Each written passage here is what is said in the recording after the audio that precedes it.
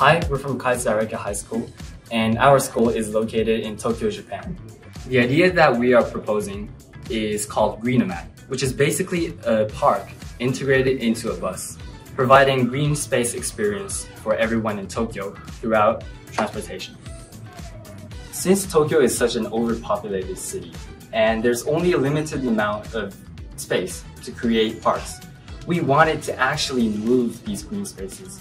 And that's when we came up with the idea of GreeNomad. So our product fosters a positive impact to our community, Tokyo, providing accessibility to everyone.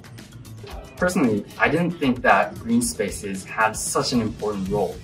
But as we did our research, we learned that every single person in the community are involved to green spaces and mobility.